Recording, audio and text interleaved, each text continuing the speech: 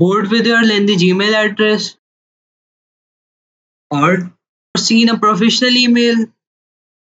Want one to replace your not so professional email? Then you, my friend, are at the right place.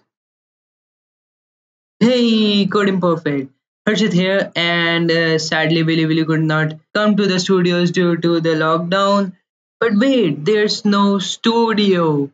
Uh, by studio, I meant my home.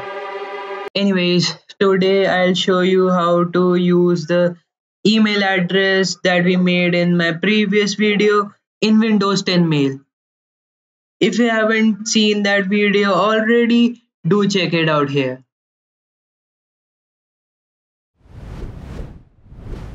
Okay, so this was the app I was talking about. So let's open it up.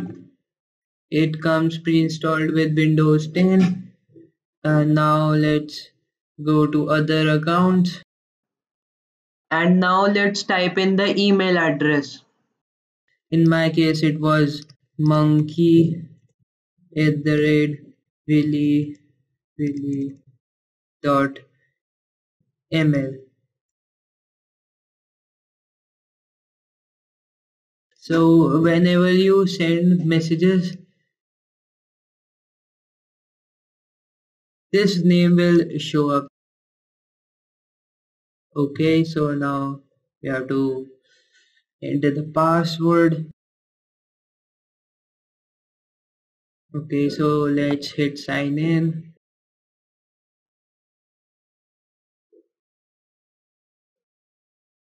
Okay here it is.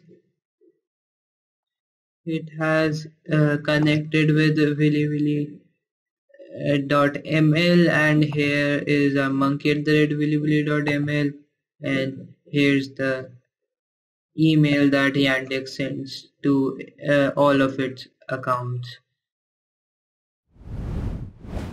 Okay, so that's it for this video. Hope you enjoyed it. If you did, do give us a thumbs up. Also, don't forget to hit that subscribe button and not just subscribe do ring that bell so that you don't miss any of the amazing content uploaded on this channel.